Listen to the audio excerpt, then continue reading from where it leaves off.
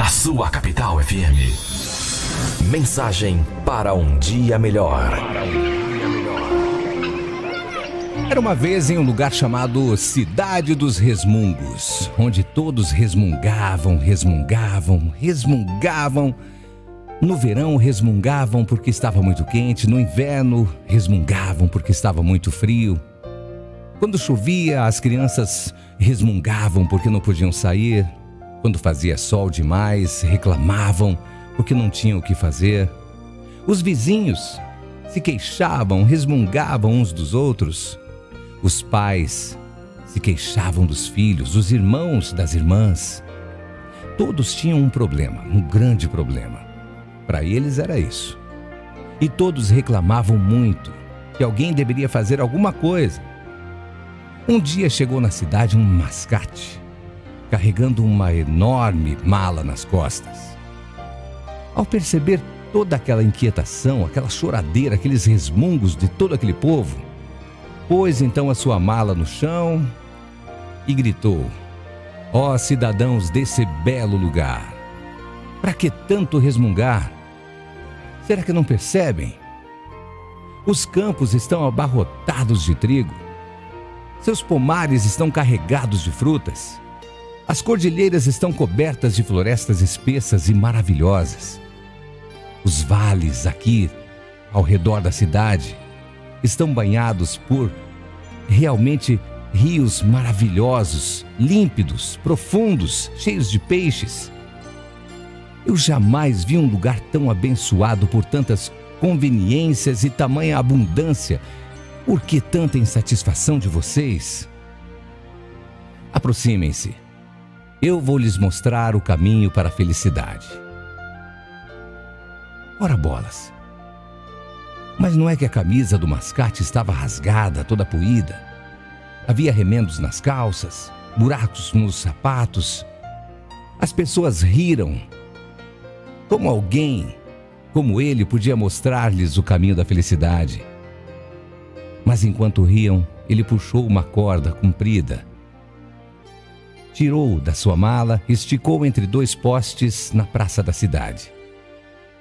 Então, segurando o cesto, segurando sua mala, gritou assim: Povo, aqueles que estiverem realmente insatisfeitos, então escrevam os seus problemas num pedaço de papel. Cada um vai escrever o seu problema num pedaço de papel e a gente vai colocar aqui, dentro dessa mala. Eu trocarei seus problemas por felicidade. Tá combinado? E assim o fizeram. A multidão se aglomerou ao seu redor, ninguém hesitou diante da chance de se livrar dos problemas. Todo homem, toda mulher e criança da vila rabiscou suas queixas num pedaço de papel, jogaram então dentro daquela mala. Eles observaram o mascate pegar cada probleminha e pendurá-lo na corda. Foi colocando, como num varal. Quando ele terminou, havia problemas tremulando em cada polegada da corda de um extremo ao outro. Então ele disse assim: Agora cada um de vocês deve retirar dessa linha mágica o menor problema que puder encontrar. Todos então correram para examinar os problemas, começaram a ler, procuraram, manusearam os pedaços de papel e ponderaram. Cada qual tentando escolher o menor problema. Depois de algum tempo, a corda estava vazia eis que cada um segurava o mesmíssimo problema que havia colocado naquela corda.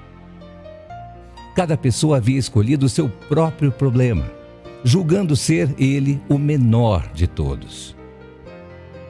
E daí em diante, o povo daquela cidade deixou de resmungar o tempo todo, porque aprendeu que seus problemas não eram tão grandes assim.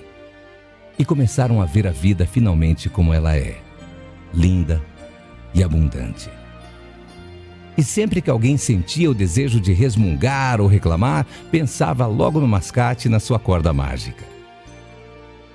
Sabe, gente, em nossas vidas também acontece o mesmo.